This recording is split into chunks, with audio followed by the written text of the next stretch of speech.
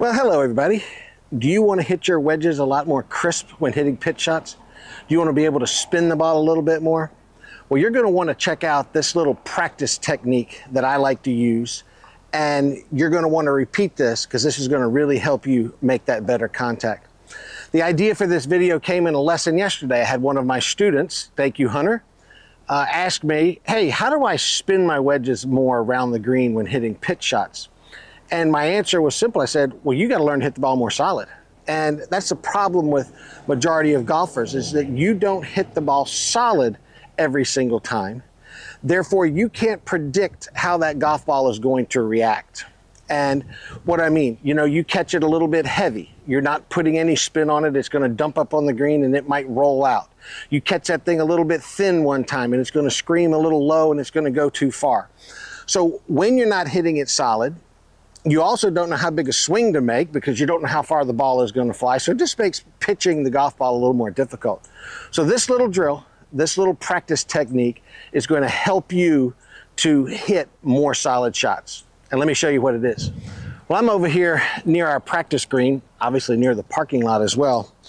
And I like to come right over here and there's a bare spot right here. You can see I'm just standing and it is hard dirt.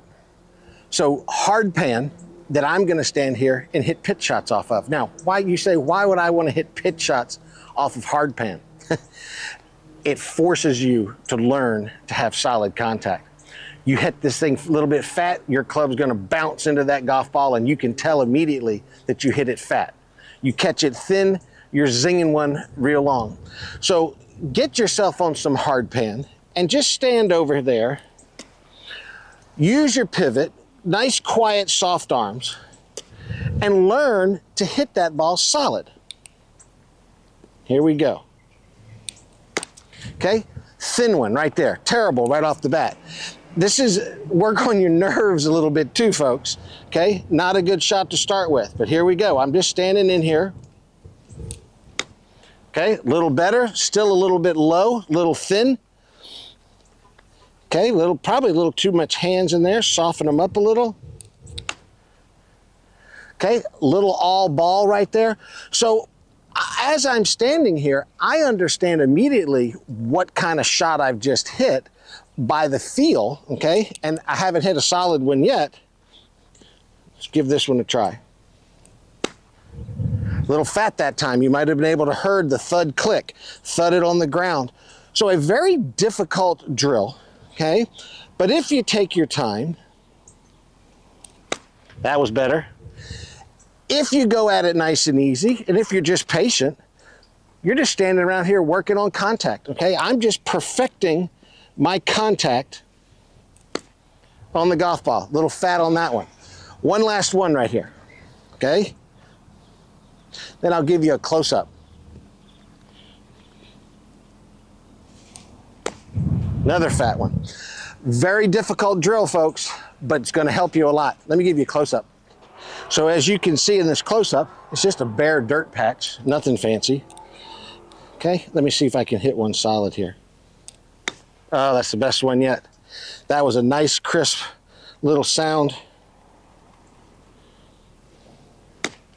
Okay, a little thin on that one. Let's do one more. It's evident that I need to be standing over here hitting these shots. Okay, pretty good one right there. Well, that's it. It's just that simple. Find yourself some hard pan and stand there and hit pitch shots off of it and just keep doing it until you can start hitting it solid. Once you start hitting it solid, pay attention to what it feels like in your golf swing. Then when you get out on the golf course, just repeat that feel and you're gonna be hitting a lot more crisp wedges. You're gonna get a little more spin on that ball. You're gonna be able to control your distance a lot better, which is obviously gonna help you score so much more. Thanks so much for watching. Uh, if you're new to this channel, um, I just give simple golf instruction here. Um, a lot of times like this one, we got to be creative, okay, come up with innovative ways to help you fix your game.